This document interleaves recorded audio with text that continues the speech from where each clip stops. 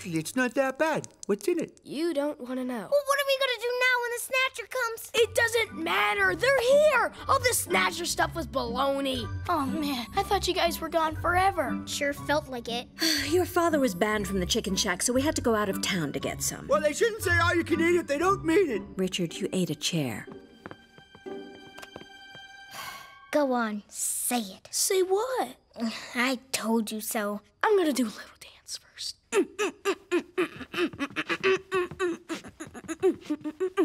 I'm glad you're taking this gracefully. Could you pass me a wing, please? Sure. Hey guys, leave some for us.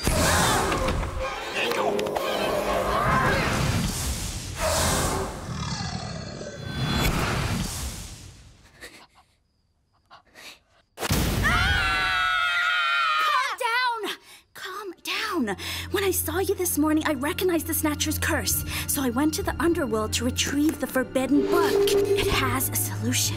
The only problem is that we have to wait until the sun rises. Wait, how can we know so much about all this? There once was a young man, a mortal man, who fell in love with a beautiful Yeah, girl. yeah, thanks. We know. But did you know that the young man and the ghost had a child? Uh, a zombie baby. Uh, that child was me. All right, what do we do? We survive. I've got a much better idea. How about we bail?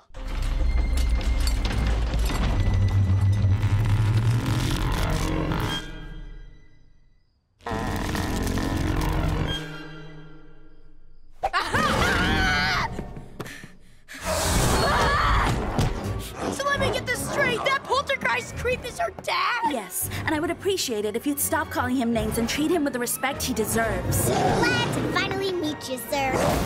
He seems to have a few issues. It's not his fault. He's been turned evil by loneliness.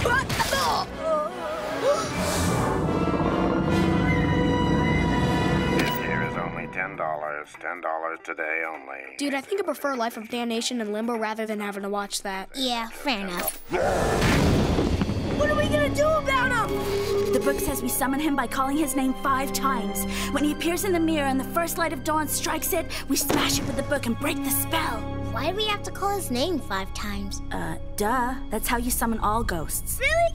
Carrie, Carrie, Carrie, Carrie, Carrie. Carrie, Carrie, Carrie, Carrie, Carrie!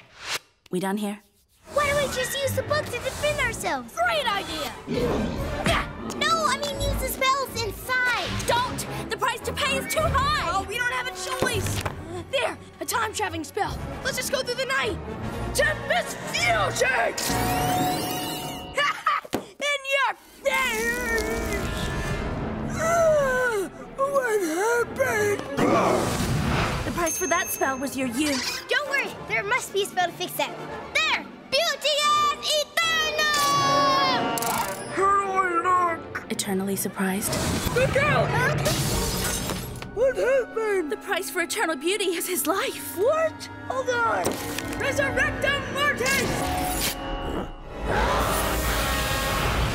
Come on! The sun's about to come up! Wait, there's a big mirror in the attic! Oh no! The price for resurrecting Darwin was your own Yeah, money! yeah, I figured that one out. Quick, call his name five times. Okay, uh, what's his name again? Vladislav Stokovitsky. Vladislav again! Oh, oh, oh, I think I sprained my tongue. Just say Vlad. Vlad, Vlad, Vlad, Vlad, Vlad.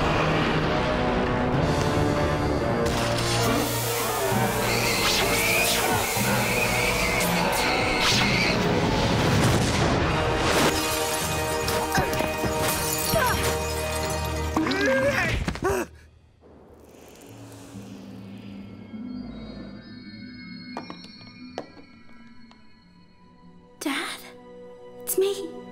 Do you recognize me? How could I not recognize my beautiful girl? Thank you for setting me free.